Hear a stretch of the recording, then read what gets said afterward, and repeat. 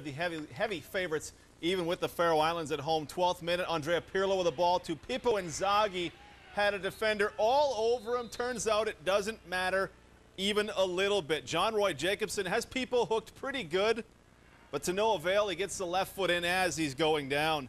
1 0 to Italy in the 12th. 48th minute now. Massimo Oddo to Aimo Diana. He's got Inzaghi at the back post, and he will find him. Inzaghi will, in turn, find the net. 2-0 to Italy. We skip ahead to the 77th in an affront to Italians everywhere. Faroe Islands gets just its second goal of the group stage. A nice ball in to Rógvi Jacobsen.